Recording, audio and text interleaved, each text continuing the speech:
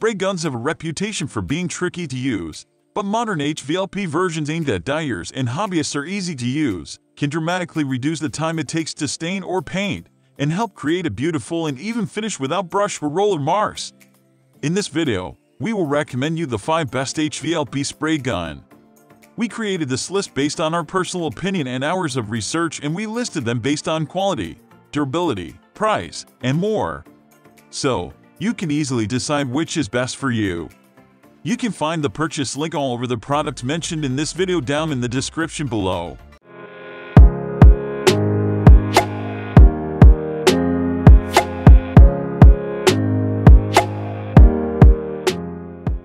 Number 5.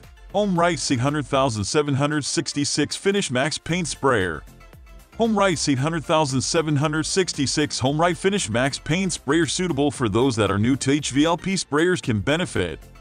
This compact model is easy to use and comes with vertical, horizontal, and round spray patterns for small to medium-sized paint jobs on furniture, cabinets, trim, walls, and more. For added convenience, this pick comes with a cleaning kit for post-use. This affordable handheld paint sprayer comes with a single 2mm brass spray tip and nozzle to handle your paint project and the small paint cup holds up to 27 ounces of latex, chalk, and milk paint as well as thicker paints and products like primers, sealers, polyurethane, stain, and varnish. Depending on the area you're spraying, the air pressure can be adjusted with a handy knob located on the side of the unit.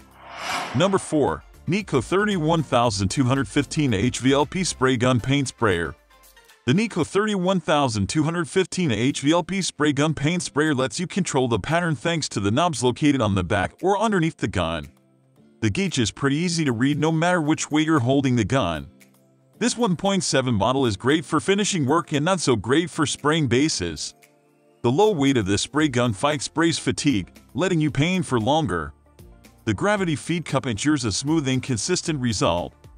It's important to always give your new sprayers a good cleaning when you receive them. Same with the NEIKO 40 PSI air spray gun. This removes dust and leftover residue from manufacturing that could foul your paint. A little care before will reduce your maintenance time and costs later on down the road. Many sprayers that are below 3 pounds in weight tend to provide inconsistent results.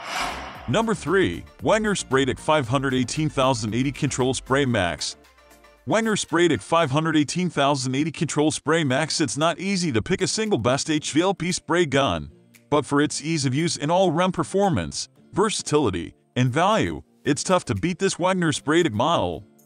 It comes with a 1.8mm nozzle, so thicker paints like latex may need to be thin, but larger nozzles are available. The Wagner Spraytech comes with 20 feet of hose, so there's the little issue of being cramped or constantly moving the turbine unit around. It only weighs 11 pounds and has a built-in handle, so it's very portable.